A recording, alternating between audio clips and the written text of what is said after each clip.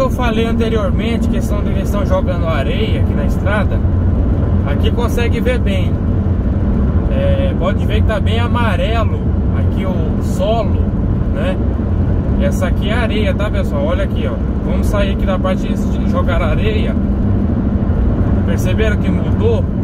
Aqui, aqui já não jogaram areia, tá? Então eles jogam areia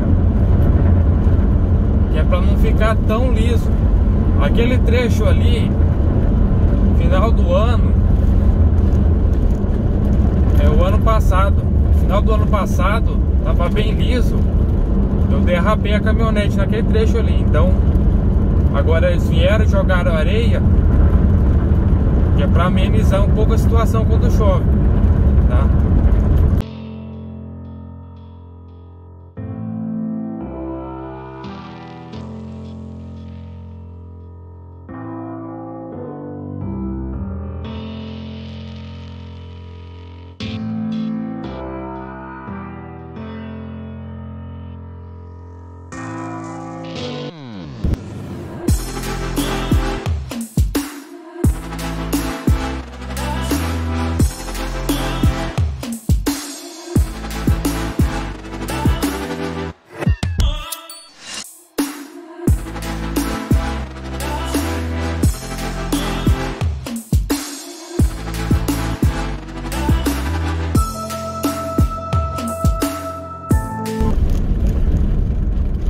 Vocês conseguem observar aqui do meu lado esquerdo e direito?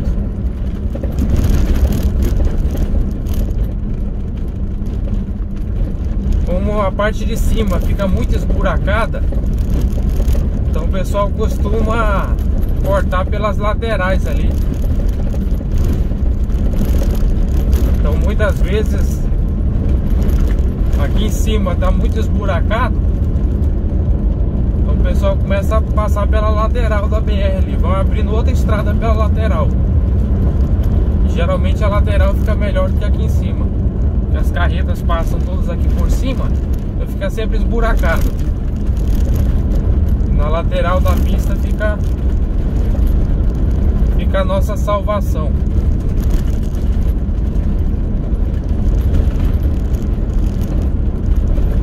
Lembrando que essa é a minha primeira viagem aqui esse ano pela Transamazônica. Mês de janeiro eu estava de férias.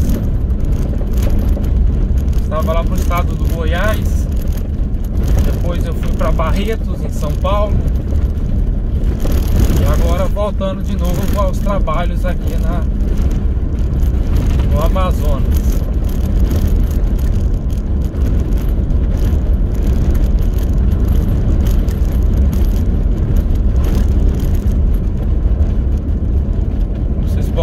Esse, essa parte da BR aqui tá bem, bem esburacada.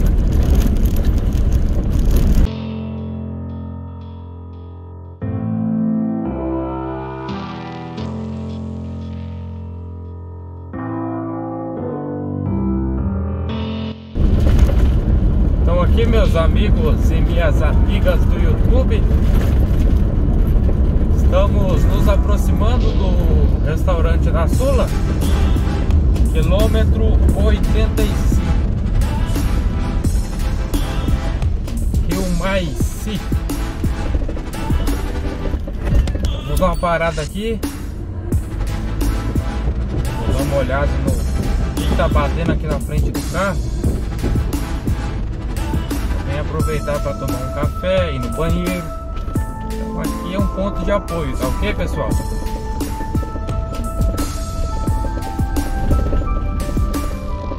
restaurante da Sula, bastante conhecido aqui.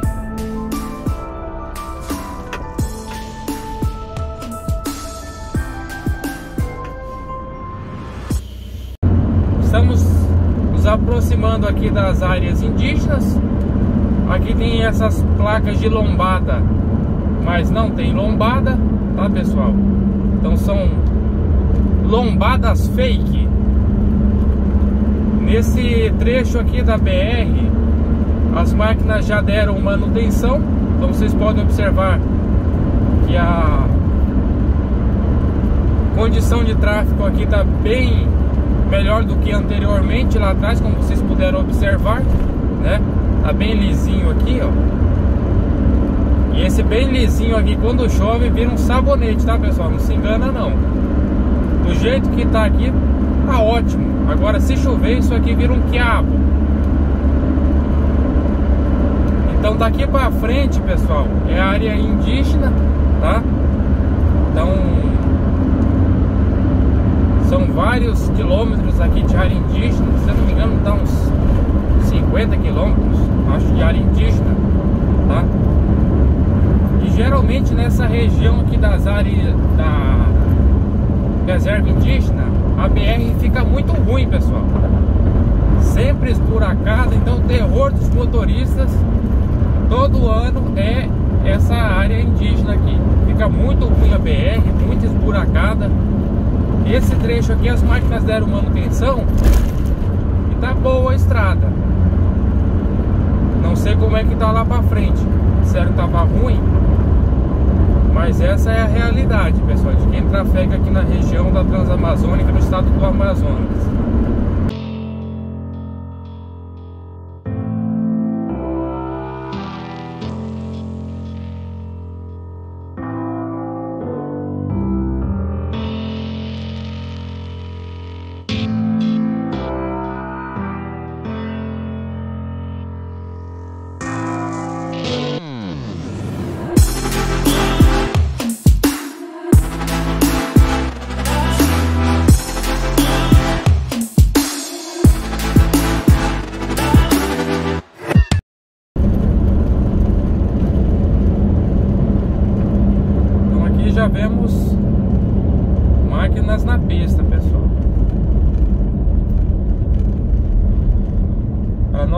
Alegria.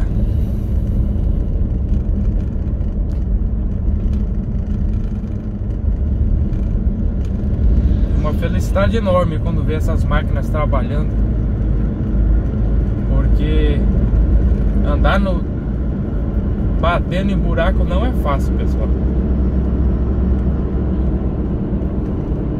A empresa que dá manutenção aqui na BR, empreiteira aí contratada pelo DENIT para fazer esse trabalho de manutenção, recuperação aqui é a CMM, que é construtora Meireles Mascarenhas, tá pessoal? Só título de informação aí. Então aqui começa a realidade, olha só acabou as obras estou arrumando. E aqui a gente já começa a bater buraco. Como eu disse essa região dos índios aqui todo ano fica horrível. A concentração de buracos aqui por metro quadrado é, é altíssima. E ali pra frente tem um trecho que fica pior ainda, tá?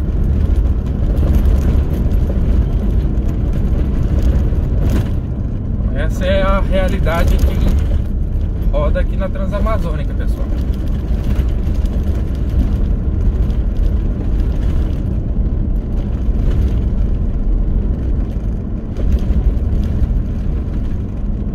Aqui tem um cone alertando, né?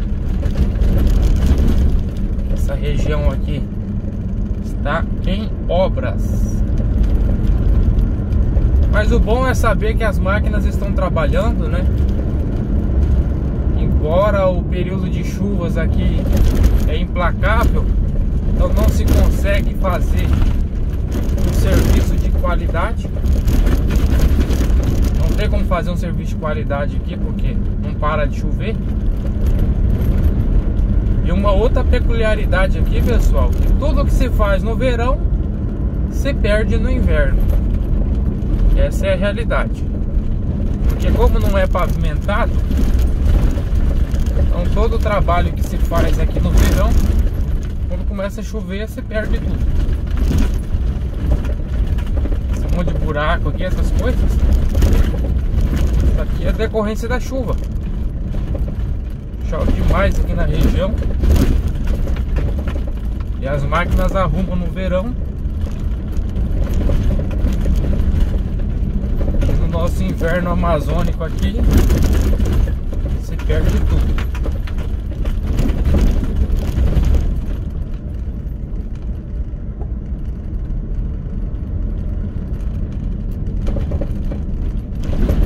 Isso aqui é um caminhão pipa que é utilizado para jogar água onde as máquinas estão trabalhando ali.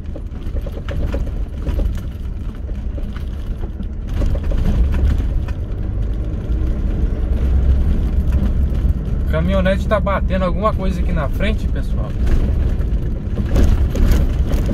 Eu parei ali na sula, olhei e não consegui descobrir o que é que tá batendo ali.